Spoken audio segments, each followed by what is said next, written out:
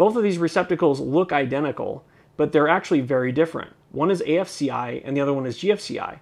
Now, while you might not be able to tell the difference just by looking at these, those two standards provide a totally different type of protection. So between these two, GFCI is the most common, so let's cover that first. So GFCI stands for ground fault circuit interrupt, and it can also be referred to as a ground fault interrupt or GFI.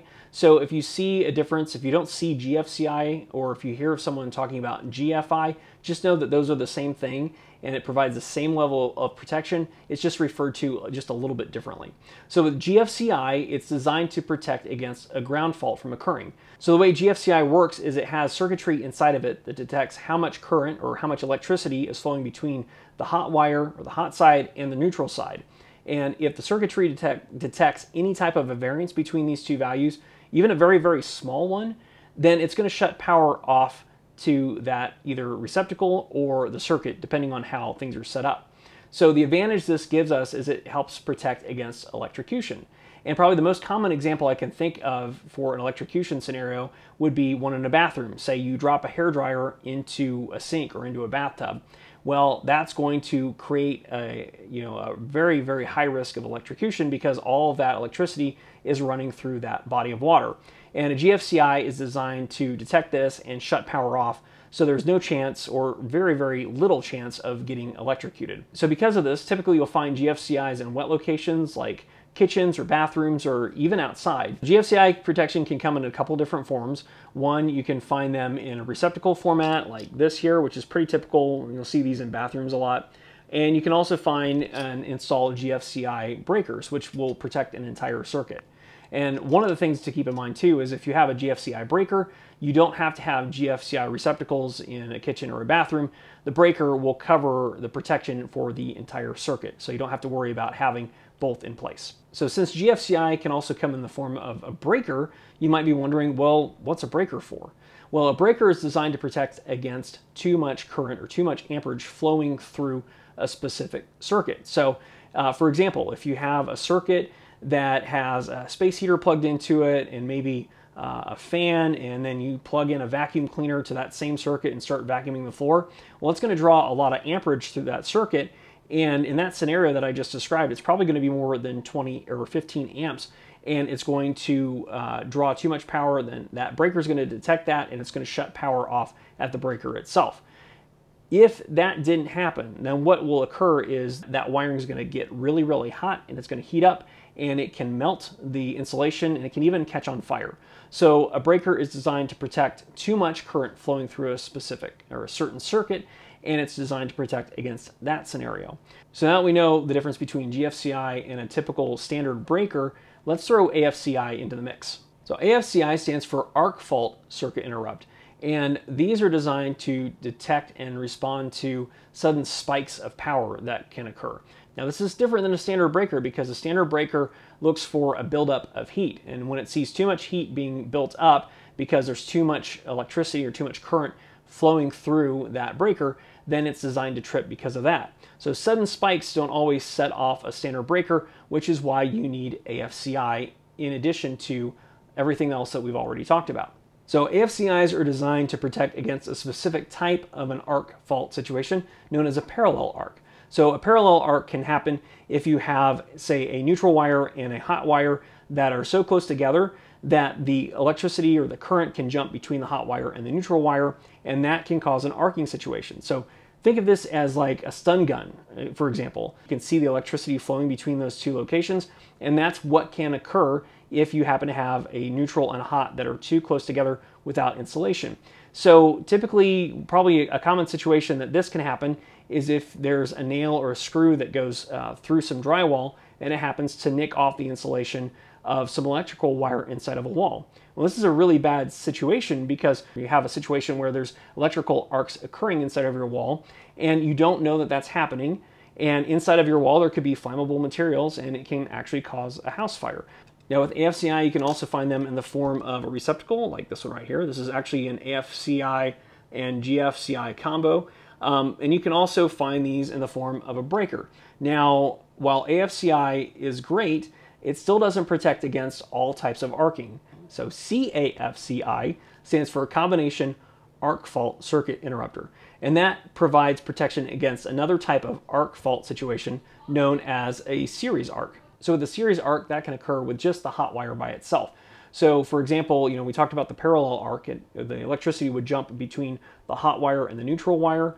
Well, with a series arc, basically that means that the power can, is trying to jump or it's arcing between the hot wire and another section of the hot wire itself. So for example, if you have a, a wire that has a cut section in it, then the electricity is trying to make a connection to the other piece of or the other uh, section of wire, then that electricity can arc or can jump between those two sections, causing the same issue. Uh, the other scenario that's pretty common is if you have a receptacle and you have uh, the hot wire that's tightened down to a terminal, but that terminal loosens up or the connection wasn't made tight enough in the first place, you can have uh, an arcing situation inside where the wire and the terminal or the wire and the uh, light switch or the receptacle, um, it's arcing inside of the box as well. So with CAFCI, it's designed to detect and react to those situations as well. So really, if you're wanting to detect and protect against all situations that are possible, uh, at least that we have the ability to uh, protect against now, you really need to have CAFCI in place to protect against an arcing situation. Now, to protect against a ground fault situation, you still have to have GFCI in place, but thankfully, you don't have to choose between whether or not you want CAFCI or AFCI or GFCI protection for a circuit you can actually go with what they call a dual function CAFCI slash GFCI breaker. So if you want the ultimate level of protection in your home against any type of a fault or arcing situation, look for dual interrupt breakers. And if you install these in your breaker box, if your breaker box is new enough to handle these, and if you have the budget that will allow for these, uh, these will give you the highest level of protection that you can get uh, for your home. Now that we know the advantages of AFCI, let's talk about some of the disadvantages of AFCI. So first up, we now understand that there is a difference between AFCI and CAFCI. So if you're looking for that extra level of protection, you really need to go with CAFCI instead of just a normal AFCI receptacle. There are some other limitations here with standard AFCI receptacles that I won't talk about, but just know that if you're looking for CAFCI, you're only going to be able to find those in a breaker form. The next issue is what's called nuisance tripping. So a nuisance trip is what happens when nothing is really wrong, but the breaker or the receptacle thinks that it sees something wrong. It sees some behavior that it thinks just isn't quite right, and it decides to trip the breaker or trip the circuit in case there's an issue. Now, nuisance tripping is typically with AFCI is caused by devices that are plugged into a receptacle that are behaving a little bit oddly or a little bit differently than what the AFCI is designed to detect or think, think that it's normal. And so what will happen then is if you have devices, say, that aren't you know, uh, certified by FCC, then you can have more of a common situation where those nuisance trips are going to occur. So if you have a situation where your AFCI is tripping and you're not quite sure what's wrong, it can either be, you know, doing its job and protecting you against a situation that you're not aware of that's actually a problem, say inside of a wall or something like that, or it's just tripping because you have a device that's plugged into it that's behaving a little bit differently. It's creating some additional noise that the AFC is not you know prepared to detect or handle, and so it's playing it safe and shutting the power off. The other disadvantage, and probably the biggest one, is that AFCIs and CAFCIs are about 10 times the cost of a normal receptacle or a normal circuit breaker, depending on what you're going for. So with a typical receptacle, say even a commercial grade receptacle, you're gonna spend like two or three dollars. And if you're looking for AFCI and GFCI protection, you're gonna spend about 20 to 30 bucks.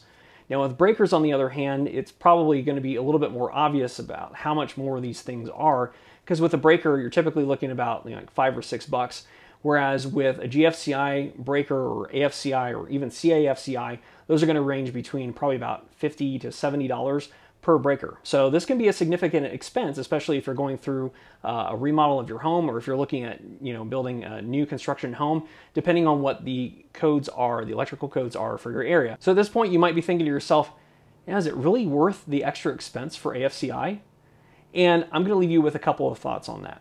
So the first is I found a study that says there's about 35,000 house fires every year. And out of those house fires, if they had had AFCI protection installed, about half of those could have been prevented. So if you have uh, loved ones that you're caring for, if you're raising a family, uh, and you have more than just yourself in your house, I think AFCI, having that protection in your home, will give you that extra peace of mind that you're doing everything that you can to keep everyone safe. The other thing I want to mention is that the NEC has actually adopted AFCI as a standard. And I'm not talking about just protecting like bedrooms. I'm talking about protecting all common areas. So because of these two things, I think AFCI is worth the extra cost. And at the same time, once more and more houses start having AFCI built into them, once these things start becoming more mainstream, the cost should go down because of the supply and demand issue. All right, that's the video. Hopefully you found it helpful. If you did, don't forget to hit that like button, subscribe to the channel if you haven't already, and I will see you in the next one.